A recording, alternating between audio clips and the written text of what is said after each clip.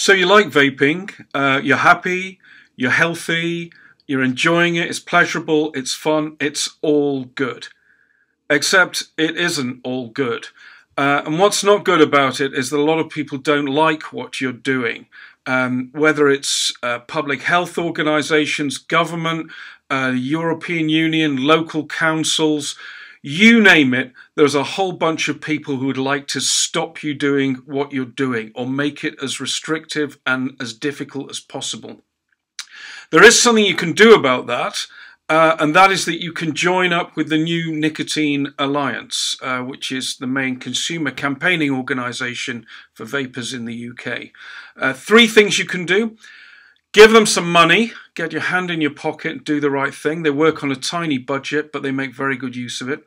Secondly, get involved, do the writing in, get involved in the politics, uh, talk to your representatives. And then thirdly, uh, encourage others to do the same. Get others to get their hands in the pocket and also join up and get active. Then you're really doing the right thing.